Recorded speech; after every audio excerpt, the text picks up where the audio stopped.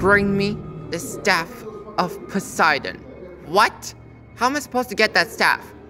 There's a security guard, and stop being such a kid. You are the king of the dead, and kings don't act in that kind of way. So shut your mouth and give me that staff. Alright? Aren't you aren't you gonna do that yourself?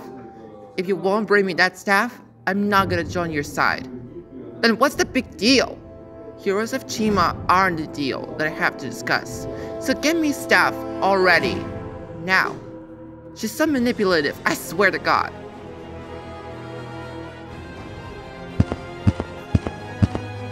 Hey, what is this guy doing? I don't know. Let's call him. Hey, you're a stranger. What are you doing here? If you won't enter, we're calling the police. Wish me luck. He's getting away with the staff. Huh? Fire! This is not the last you see of me. What? How did he teleport? He's the ghost. And ghosts can teleport. Here's your staff. Are you happy now? Yes, the staff is made of real gold.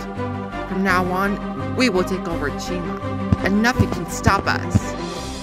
Can't you actually believe that summer is getting closer? I'm beyond excited for this. Hey guys, check the news.